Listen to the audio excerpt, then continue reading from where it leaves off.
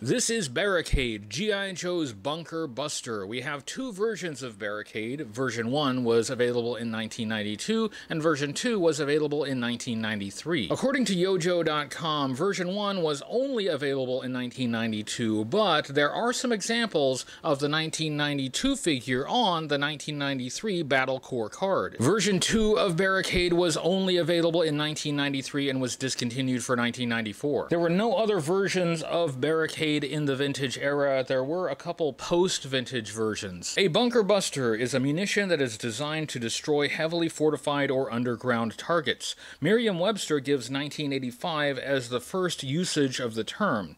It was a term that entered the popular lexicon during Operation Desert Storm in 1991 when this figure was being designed. According to pre production material, Barricade was originally going to be the second version of Downtown, the Mortar Man from 1989.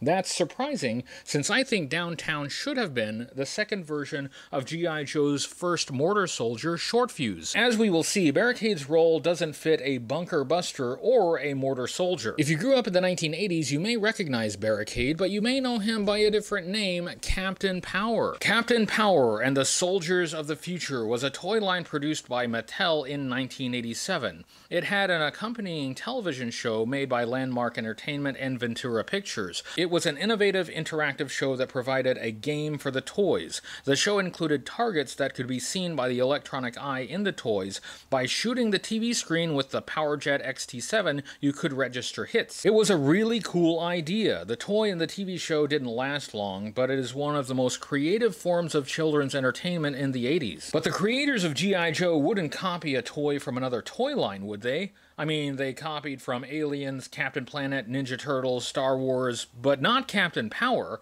Captain Power was canceled years before Barricade was released. But it's the same guy. That's not to say that Hasbro was trying to latch on to the popularity of a show that was long gone before Barricade was designed. Maybe it was homage. Maybe it was a sign of respect. I don't know. Version 2 is identical to version 1, except the blue parts are changed to orange. Even the accessories are the same. This skirts the line of demarcation between a variant and a version. That is a discussion detailed in my review of Firefly versions 2 and 3. Version 2 is part of the Battle Corps series, which was the main line of G.I. Joe toys in 1993. I have the full cards for both versions. We can see how these figures were marketed in 1992 and 1993. Version 1 first appeared on the 1992 card. It was also on the Battle Corps 1993 card. Then, sometime in 1993, they changed the color of the figure, producing version 2, and all version 2 figures were produced on the 1993 card. The artwork was not updated to reflect the new colors. If only the colors were changed and nothing else, was the updated figure really intended to be a new version or just a variant? The 1992 card has the G.I. Joe logo, it has some pretty good card art. It says battering ram launcher shoots, battle stand included. There are some instructions on how to use the spring loaded missile launcher. Barricade was number 9 in the 1992 series, and this figure was $2.99 at Toys R Us. On the back of the card, we have the cross sell. We have an advertisement for Drug Elimination Force, Eco Warriors, and Ninja Force. This figure was worth one flag point, and we have the file card, which we will look at later. The 1993 card has the Battle Corps logo. Barricade Barricade was number 17 in the Battle Corps series. It has the same artwork as the 1992 card, but it now has the blue laser stripe background. It still has instructions on how to use the spring-loaded missile launcher and the battle stand. The back of the card has the cross sell and an advertisement for DEF and Ninja Force. The flag point has been removed on my example. Then, of course, we have the file card. Let's look at the accessories for Barricade. Both version 1 and version 2 had the same accessories so we only have to look at them once. Let's start by looking at Barricade's helmet. The file card calls this helmet titanium reinforced concussion proof headgear. The helmet is gold with a red paint application. It is made of a soft, flexible plastic. I like the flexible plastic accessories from the 90s. There's less chance of breakage. It looks a bit similar to Captain Power's helmet. The biggest difference is Captain Power's helmet has blue instead of red.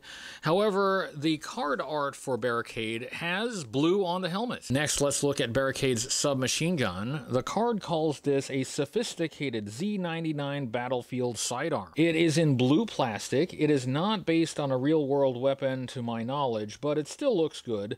This gun was issued in black for Cutter version 3 in 1993. The next accessory is the backpack. It is in blue plastic. I am using the one that came with my version 2 figure. You can see that it has a slot, and on that slot you can fit the spring-loaded missile launcher. Mine is a very tight fit, and because it is such a tight fit, I will not put it on this backpack. I did put it on once, but it was such a tight fit that I almost did not get it off. The backpack that came with my version 1 figure isn't quite such a tight fit, so you can pull the thing off. This is a spring-loaded missile launcher. These were an innovation for 90s G.I. Joes. It is in blue plastic. It has a yellow trigger in the back. This missile launcher was reissued in 1993 with Colonel Courage in gold plastic. It did not include the backpack. According to the artwork on the card, the grip is supposed to be on the top of the launcher. This does not fit on my action figure's hand, and I'm not going to force it. Above the missile launcher barrel, it looks like it has a multi-barrel machine gun. The card calls this an eight-barreled multi-shot never-miss machine gun. Barricade included one yellow missile with a battering ram tip. The card called this a high-powered wall smasher battering ram. This oddly shaped yellow missile was reissued in 1993 with Colonel Courage, just as the launcher was, and this time in green plastic. To operate the missile launcher, just place the missile in the barrel notch side up, press until it clicks. To test this missile launcher, let's bring in our old friend Dr. Mindbender. To fire the missile, just take aim and press down on the trigger in the back to fire.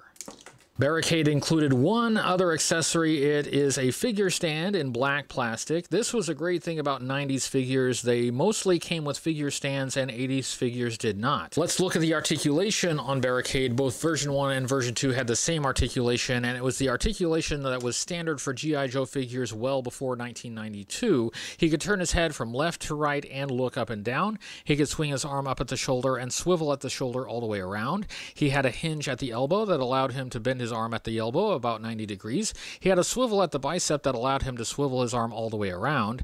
This was an O-ring figure, meaning it was held together with a rubber O-ring that looped around the inside. That allowed him to move at the torso a bit. He could move his legs apart about so far. He could bend his leg at the hip about 90 degrees and bend at the knee about 90 degrees. Let's look at the sculpt, design, and color of Barricade. I was going to warn about gold plastic syndrome for this figure. Gold plastic produced in the 80s and 90s tends to become very brittle over time. For Barricade, though, it doesn't look like most of his parts are made of gold plastic. He is mostly a base blue plastic color with gold paint. Looking at Barricade's head, he has black hair. He has a subtle sneer. This face was probably based on a real person, as many 90s G.I. Joe figures were, but I haven't been able to find a source for who this may be. On his chest, he has a blue uniform with gold armor on his chest and back. On his back, he has a protruding pack that is similar to the pack on the Captain Power figure. On the Captain Power figure, that looks like it's supposed to be a jetpack.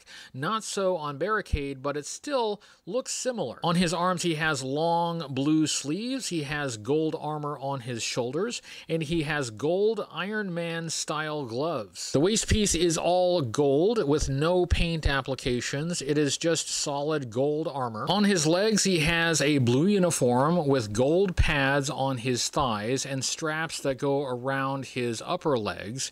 He has gold knee pads and tall gold boots. These legs are very similar to Captain Power, whose legs had a blue uniform with gold thigh pads and straps around the upper legs, gold knee pads, and tall gold boots. These legs were used on two figures in 1994, Gears and Cobra Blackstar. The color scheme is not suitable for most combat environments, but if Barricade works in an urban setting rather than a traditional battlefield, it may not matter that much. Version 2 of Barricade from 1995 is exactly the same as version 1. The only difference is the blue parts have been changed to orange. The paint applications are exactly the same. The articulation, the accessories, all exactly the same. Even the copyright stamp and the country of origin stamp on the figures are the same. Let's look at Barricade's file card. The 1992 file card has a portrait of Barricade and a full body picture picture of Barricade that's taken from the artwork on the front of the card. It has a numbered list of features, and I have used this list to describe some of the accessories and features on the figure. His codename is Barricade. He is the Bunker Buster. His file name is Philip M. Hulsinger. His primary military specialty is Bunker Buster. Secondary military specialty is Badger Driver. The Badger was a 1991 G.I. Joe vehicle that was discontinued for 1992, so it was not on the shelves at the same time as Barricade. His birthplace is Pittsburg,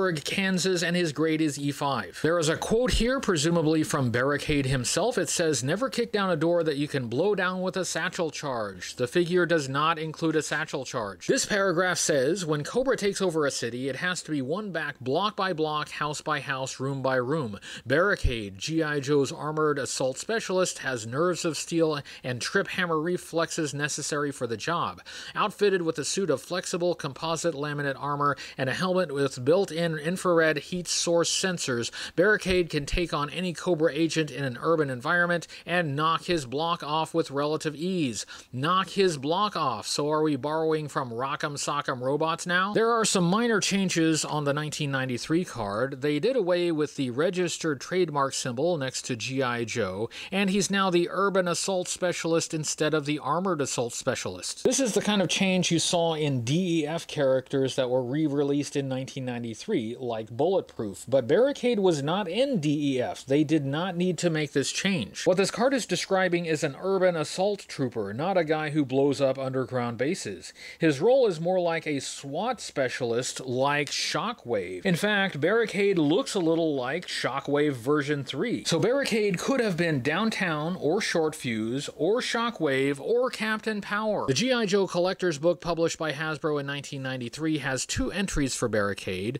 The 1992 entry has his specialty as Bunker Buster Specialist. The 1993 entry has his specialty as Urban Assault Trooper in parentheses new colors. This specialty didn't make it to the 1993 file card. Based on the file card, this seems to be what he was always meant to be. He's not a bunker buster in the conventional sense, unless you mean busting into bunkers through the door. Looking at how Barricade was used in G.I. Joe media, that won't take long. He had no appearances in the animated series and no appearances in the G.I. Joe comic book series published by Marvel Comics.